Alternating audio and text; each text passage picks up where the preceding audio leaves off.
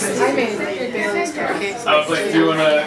Michael's not being there. Did you try And the other, he's like, I made uh, a like, chocolate me coffee play some games. cupcake with Attention Bailey's please, attention please. Drum roll. We're going to be announcing the winners by the different rounds and then we'll have, it was very close. We have to have one final tasting in order to absolutely determine the overall winner that we're going to have. Speak up. Well, there's none left. We So, all.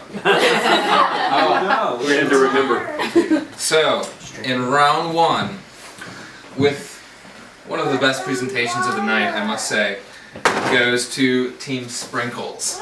Yay! Very beautiful. Very good flavor, very good presentation.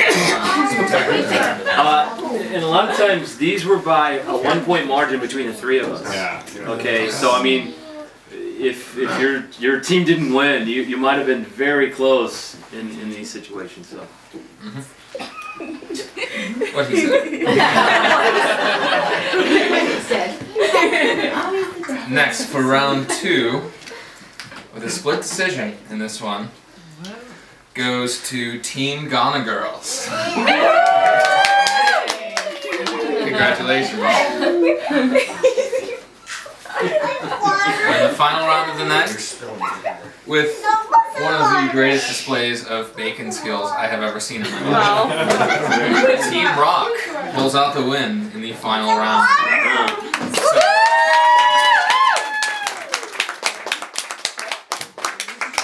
We'll have one final tasting, and then we will declare our winner. and then how are we doing the People's Choice? Uh, Oh, Oh, right. wow.